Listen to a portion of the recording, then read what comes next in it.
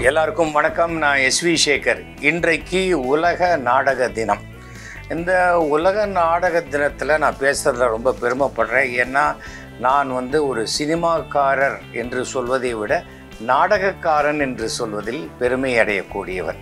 நான் வந்து என்னுடைய பத்து வயசில் ட்ராமா நடிக்க ஆரம்பித்தேன் ஆச்சு எனக்கு கிட்டத்தட்ட அறுபது வருஷ எக்ஸ்பீரியன்ஸ் இப்போது ட்ராமாவில் ஆனால் இந்த உலக நாடக தினம் இது வந்து பார்த்தீங்கன்னு சொன்னால் நமக்கு வந்து நவாப் ராஜமாணிக்கம் சங்கர்தாஸ் பம்மல் சம்பந்த முதலியார் டிகேஎஸ் பிரதர்ஸ் அப்புறம் கேபி சுந்தராம்பாள் இது மாதிரி பல பேர் சுதந்திரத்துக்கு முன்னாடி இந்த நாடகத்தை சுதந்திரத்துக்காக பாடப்படக்கூடிய ஒரு விஷயமாக இந்த சுதந்திர தாகத்தை மக்களிடம் எடுத்து செல்லக்கூடிய ஒரு விஷயமாக இந்த மீடியா பயன்பட்டிருக்கு.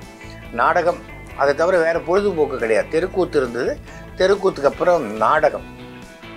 இந்த காலகட்டத்தில் நாடகம் போடுறது ரொம்ப கஷ்டம். ஏன்னா கையிலேயே ஃபோன்லேயே எல்லா சினிமாவும் வந்துடுது உலகத்தில் இருக்கிற எல்லா சினிமாவும் ஃபோனில் பார்த்துட்றாங்க அந்த மாதிரி இருக்கும்போது நம்ம ஏன் ஒரு நாடகத்துக்கு போகணும் அது ஏன் ஆயிரம் ரூபா கொடுத்து டிக்கெட் வாங்கணும் ஐநூறுரூவா கொடுத்து வாங்கணும்.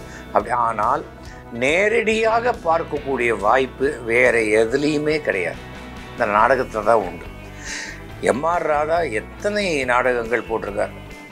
ஷோ எடுத்து பாருங்கள் அதே மாதிரி எத்தனையோ பேர். என்னுடைய தந்தையே ட்ரிப்ளிகேன் ஃபைன் ஆர்ட்ஸ் கிளப்னு ஒரு நாடக குழுவில் பெண் வேடமிட்டு நடித்தவர் அந்த காலத்து அவ்வை சண்முகி அப்படின்னு சொல்லுவாங்க எஸ்வி வெங்கட்ராமன்.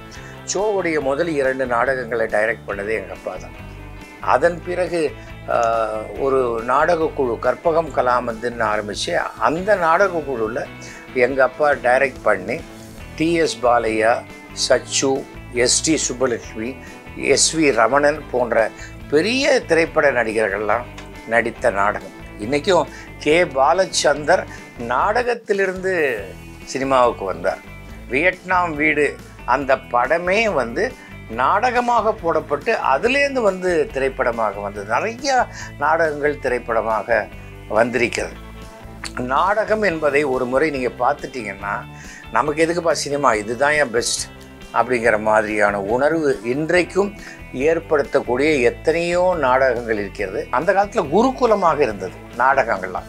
அப்படியே அங்கே ட்ரூப்பர் சிவாஜியெல்லாம் அப்படி வந்தவர் தான் எம்ஜிஆர் அப்படி வந்தவர் தான் என்எஸ் கிருஷ்ணன் எல்லாருமே பெரிய பெரிய நடிகர்கள் தமிழ் சினிமாவில் தியாகராஜ பாகவதர்.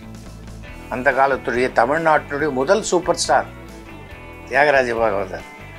அதற்காக சொல்கிறேன் அந்த மாதிரியான விஷயங்கள். ஸோ இந்த இந்த உலக நாடக தினத்தில் இவர்கள் எல்லாரையும் நான் நினைவு கூர்ந்து என்னுடைய மரியாதையை நான் அவங்களுக்கு தெரிவித்துக் கொள்கிறேன். இந்த உலக நாடக தினத்தில் நாடகம் சம்பந்தப்பட்ட அனைவருக்குமே என்னுடைய மனமார்ந்த வாழ்த்துக்களை தெரிவித்துக் கொள்கிறேன். நன்றி வணக்கம்.